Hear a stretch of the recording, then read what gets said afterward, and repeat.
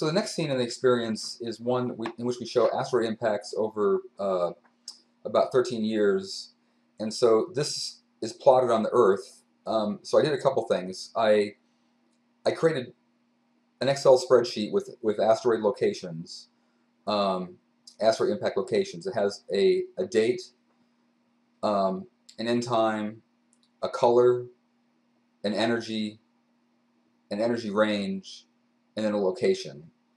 Um, and so it also has a, a, location and text as well as a latitude and longitude. So when you open up this table and load into Worldwide Telescope, you can um, make sure the mapping is correct. It'll automatically get latitude, longitude.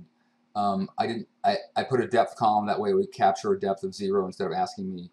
Um, in this case, these have a date. Um, this has a start and end date over the length of the entire uh, visualization. So the data were acquired from 2000 to 2014, and so the, this this Excel spreadsheet has the entire um, uh, has the entire um, has every object living through the entire um, time time frame. Uh, I have another one, which is a time sequence, which is exactly identical, but here the beginning and end dates are different. So um, this starts on 825 uh, of one year and it has a duration of one year. So I, I give every object a duration of one year and um, and then I load this into Worldwide Telescope. Um, by going into Worldwide Telescope tab, uh, Control A to select the, the uh, area, visualize selection. Again, it came up with these mappings automatically, um, and then you say visual, view in WWT. By doing that, it creates a layer in WWT, and so this is a time sequence layer which comes and goes, and then this one called all is the one that's there the entire time. Um, and so then, in order for me to make this visualization work, which I can show you what the timeline looks like, um, I simply um, have the the underlying layer, which is responsible for these small dots, um, on all the time. And then um, as time goes on, uh, there'll be impacts that are larger that will come and go. Um, there are a few per, only a few per year, but there's one that happened over here.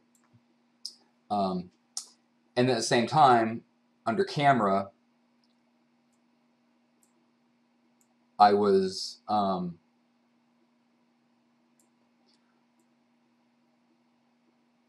uh, I was basically changing the longitude um, of the camera at a regular interval. That created a, a, the rotation of the Earth in front of me. So um, here I'm, I started at a, at a um, over here at a longitude of uh, it's like minus 24 um, and then I had another longitude of minus 90 at 8 seconds a longitude of minus 180 at 16 seconds so every 8 every 8 seconds I rotated another 90 degrees. Um, and then as long as that was kept regular, it appeared the Earth was having a smooth rotation under me. Um, then at the same time, I changed the zoom level of the camera um, under zoom.